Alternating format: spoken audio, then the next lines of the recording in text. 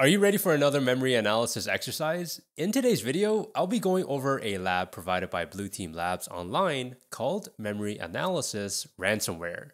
And in this lab, we'll be analyzing a memory dump from an endpoint belonging to an account executive, where they stated that their files have been encrypted. But before I do begin, if you enjoy these lab walkthroughs, I would highly encourage you to take a look at the hands-on lab playlist that I will be linking down below for you to get more practice. With that being said, let's get started. To get started with this, you want to head over to blueteamlabs.online and create an account if you haven't done so already. Once you've logged in, go ahead and click on challenges located at the top. And then over to the search bar, you want to search for ransomware. The one that we're interested in is the memory analysis dash ransomware. Click on start challenge. And before we get started, let's take a look at the scenario. It says, the account executive called the SOC earlier and sounds very frustrated and angry.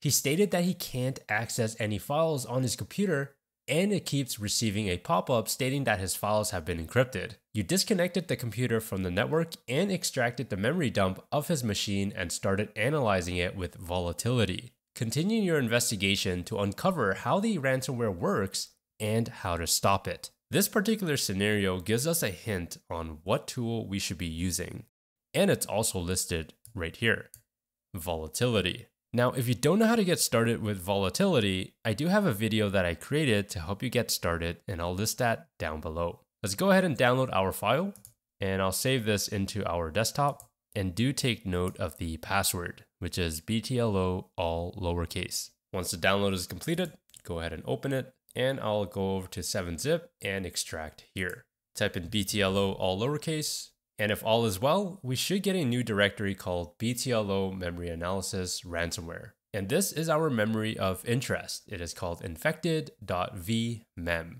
Now that we have our memory file, let's get started with the analysis. Although I am currently on a Windows operating system, I do have Windows subsystem for Linux installed. And what that allows me to do is run Linux on my Windows machine. I'll go ahead and open up a Linux shell here by holding shift, right click, and open Linux shell here. If you don't have Windows subsystem for Linux, that is okay. You can do this lab on your own Ubuntu machine. If I type in ls, I should see my infected.vmem file right here. Perfect. Clear out the screen. To run volatility, all I need to do is type in vol and hit enter. Now this will give me all of the options that are available for volatility. The current version that I'm using is volatility 3 2.8.0. Now I know it is quite difficult to see, so let me go ahead and zoom in just a bit. Now that we know that volatility works, let's take a look at question number one. And question number one actually gives us a parameter to run. So vol.py-f in our infected.vmem it's asking us to use the profile of Windows 7 SP1 x86 with a PS scan. And it says that will list all processes. What is the name of the suspicious process? So what I'll do here is highlight the dash dash profile, including the profile value. Copy that. And now I'll type in vol dash f infected and let's paste that in.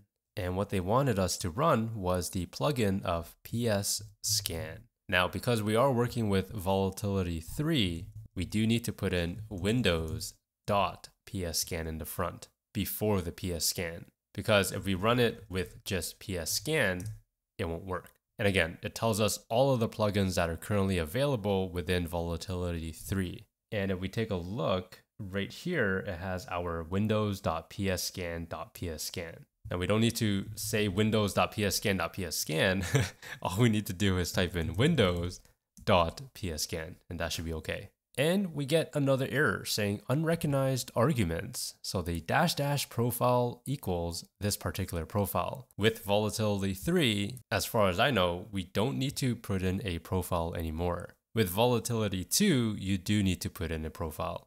So let's go ahead and just remove this and hit enter. Now volatility 3 goes out and does its thing. In just a couple seconds, it is completed. The question was asking for a suspicious process. How do we find what is suspicious within a memory dump or within a process listing?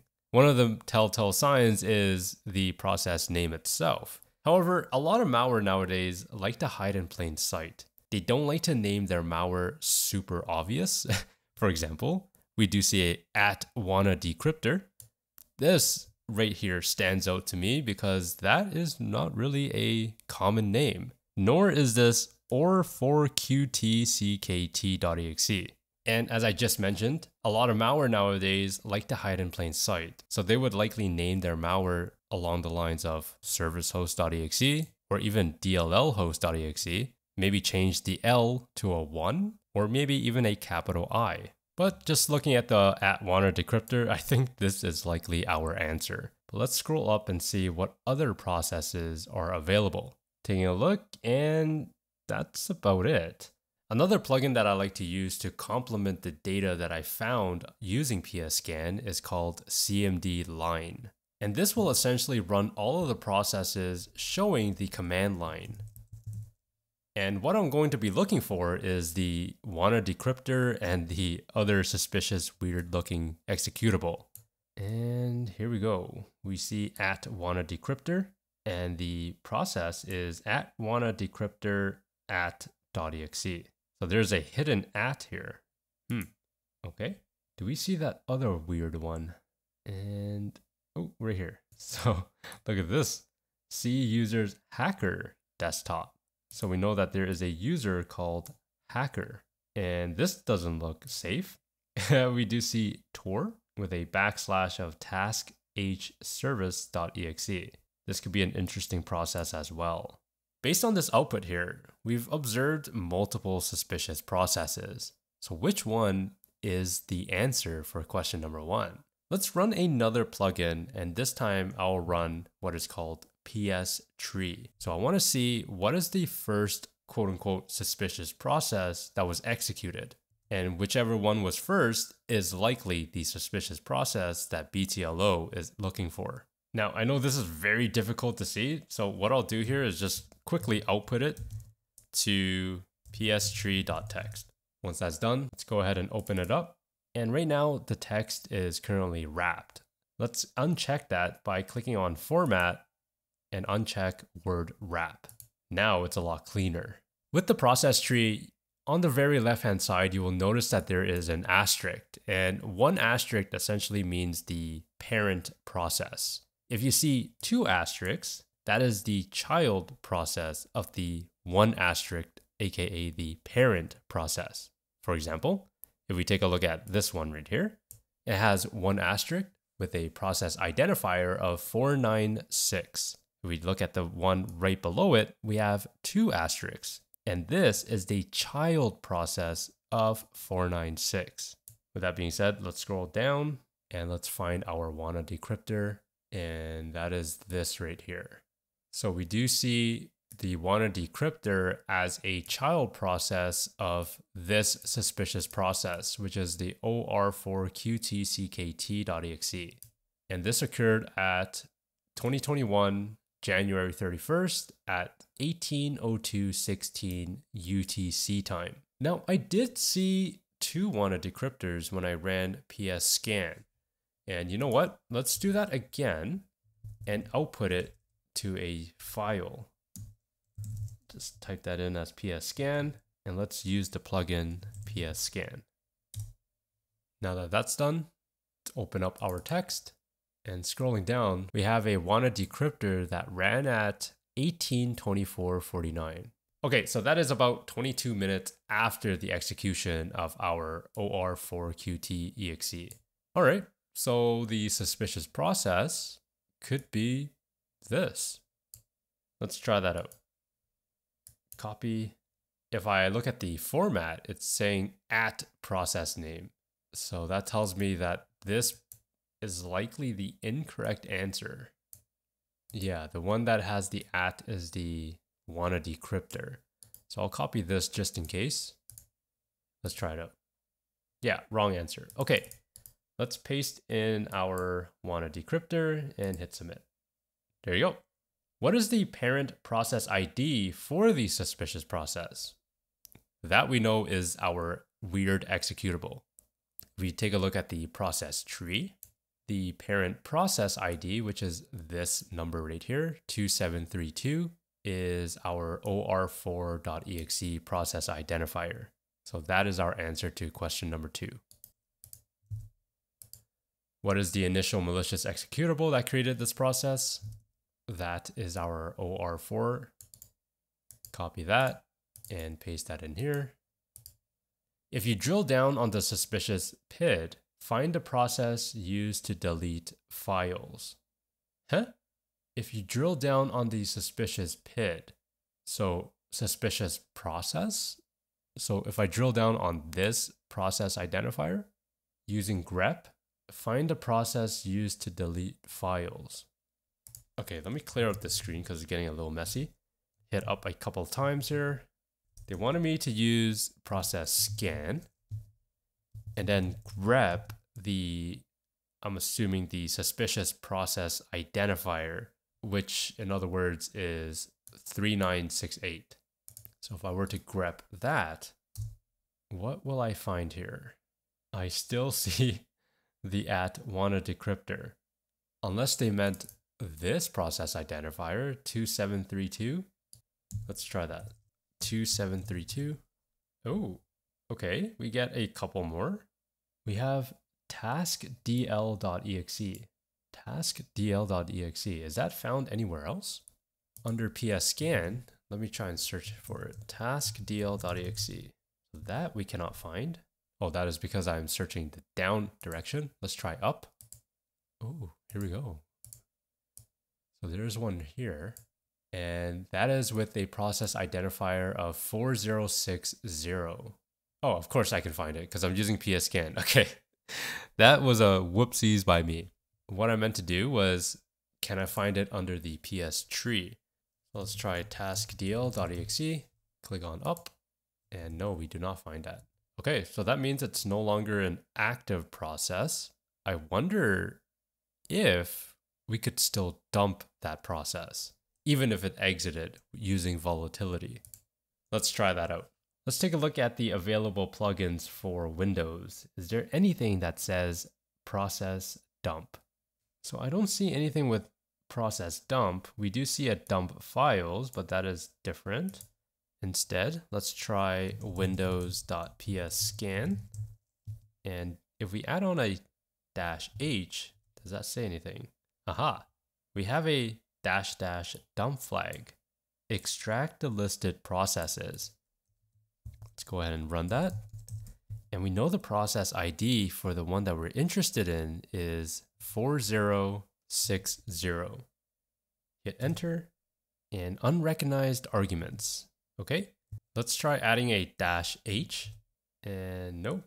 So you know what? Let's actually, let's be a bit more specific. I'll put in dash dash PID 4060, hit enter. That should show us the process of interest and we do see it. Perfect. So now let's add in dash dash dump. In theory, it should dump only that particular process. Awesome. So that worked, but we got an error outputting file, and that makes sense because this particular process is no longer active within that memory. In other words, it exited, so it's not active. And that's okay. What I wanted to do was extract a file, get the hash, look it up on VirusTotal, and see if vendors had flagged this particular file. And if they did, what was the behavior for this file? Did it delete files? If it did, then this process is likely our answer. But because we can't dump this particular file, what we can do instead is try dumping the OR4 executable. So use the same method, but extract a different process. I'll change my PID to 2732 and I'll go ahead and dump this. And that is success. There was no errors. If I were to type in ls, I could see our dumped process right here. I'm going to run a SHA-256 sum, point it over to my file of interest, hit tab for auto completion and enter. Now I'll double click my file hash, right click to copy, and let's head over to VirusTotal. Click on search, paste in my hash, hit enter, and wow, 48 vendors flagged this as malicious as a recording. And if I take a look at some of the signatures here, it's telling me it's ransom and WannaCry. Ooh, Interesting. Click on details. This was created back in 2010 at November 20, 0905 UTC. Go over to community. Let's see here. Ooh, WannaCry ransomware. So if I were to search up WannaCry, now that we have a hint as to what this particular strain is, and scrolling down, let's take a look at the report from CISA. WannaCry is ransomware that contains a worm component. It attempts to exploit vulnerabilities in the Windows SMB version 1 server to remotely compromise systems, encrypt files, and spread to other hosts. That sounds like a fun time. Do we have any IOCs, aka indicators of compromise? And we do not. What if I search up WannaCry IOC? We do have a WannaCry malware profile by Mandiant. I click on that. Uh, let's see here. So some of the file characteristics we have. Oh, look at that at wanna at .exe. So this was what we saw in our memory. Persistence mechanism. We see some task here. Is there that file? Task dl.exe. Yes, there is. Description support tool for removing temporary files. There you go. we stumbled upon our answer. So, this particular process is our answer for the next question. Copy that, head over to BTLO, and that is taskdl.exe. Find the path where the malicious file was first executed. That we did come across when I ran the command line plugin. Clear up the screen, hit up a couple times, and instead of PS scan, I'll run the cmd line. And if we look for our process of interest, which is this one right here, we can see that it ran from the C users hacker desktop. Let me just copy that. And that should be the answer. Nice. The next question Can you identify what ransomware it is? Do your research. That we already did. We know it is WannaCry. What is the file name for the file with the ransomware public key that was used to encrypt the private key? .eky extension. Well, if we go back over to our Google research here, we might be able to find something of interest. Encryptor.eky, perhaps it is this one. Go ahead and copy that out. I'm just taking a look at some of the analysis that was done. This is pretty interesting. WannaCry holds a very special place in my heart because I was actually on vacation in Japan when this occurred. I recall seeing the entire SOC freaking out because a bunch of clients were hit by this.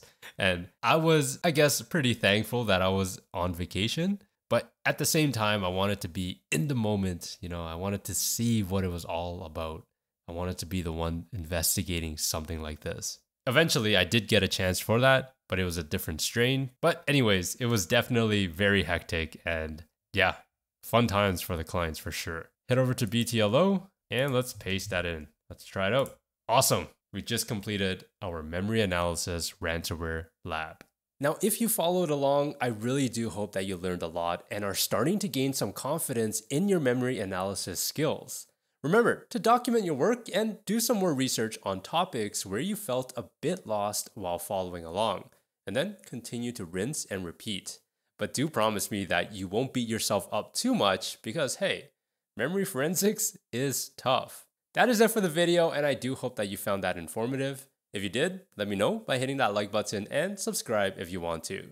Remember to stay curious and do things differently.